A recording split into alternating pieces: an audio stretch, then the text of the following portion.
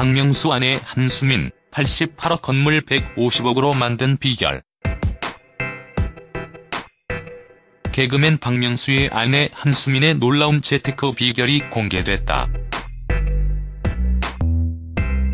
지난 9일 오후 방송된 채널A 풍문으로 드러쇼에서는 카페 재테크로 엄청난 수익을 얻은 박명수 한수민 부부에 대해 이야기를 나눴다.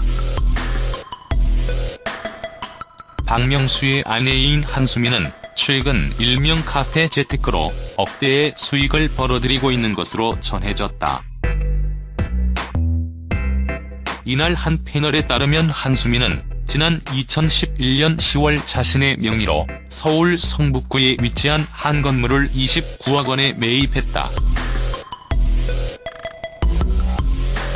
당시 건물은 오래되고 수익률도 좋지 않았지만 한수민은 리모델링 후 전층에 S브랜드 커피숍을 입점시켰다.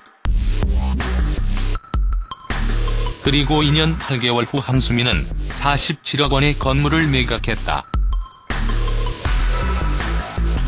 그러자 또 다른 패널은 이후 서초구 방배동에서 커피 전문점이 들어갈 만한 건물을 찾기 시작했다라며 2014년에 설해마을 인근 건물을 88억 원에 매입했다. 라고 말했다.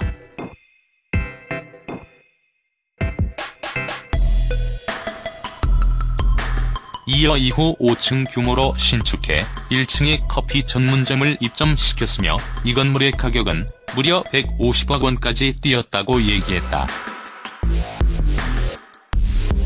한수민은 건물을 사기 전 위치와 가격대를 꼼꼼히 따지고 1년 이상 조사해 건물 매입을 결정하는 것으로 알려졌다. 이에 한수민은 카페 재테크라고 불리는 신종 부동산 재테크의 달인이라는 별명을 얻었다.